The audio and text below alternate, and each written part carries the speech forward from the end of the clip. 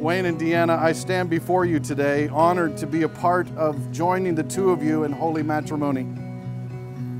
Deanna, I have known you for some time.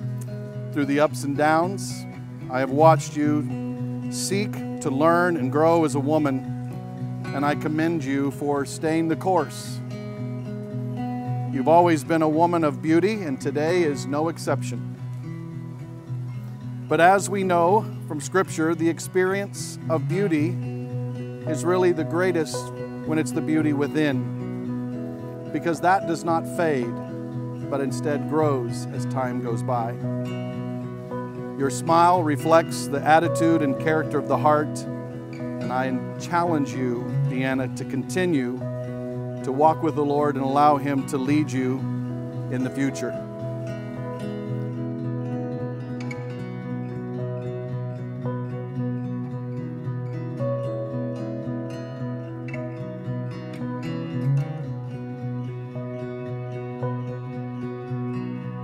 Wayne, you and I are only beginning to get to know each other, and it's been a privilege. I shared with Wayne when we first met that I tell young men it's wise, it's wise young men who walk slowly to the altar. And I joked that he may have just set the record. I told him, You're either really wise or slow. I don't know. But I'm thinking wise.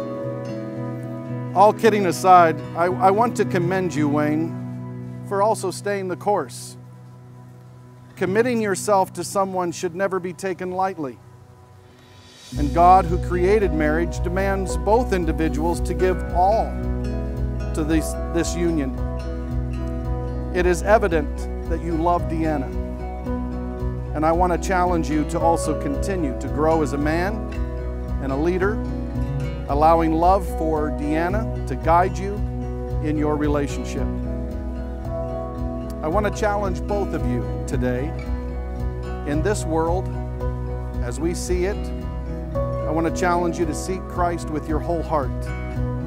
Make Him the center of your marriage and your home. Signing papers, exchanging rings, they don't assure the road ahead will be without difficulties you are going to need grace, patience, and God's love. If you're going to continue to build a home into one that will last until death. But I want to challenge you with something that my older brother shared with me.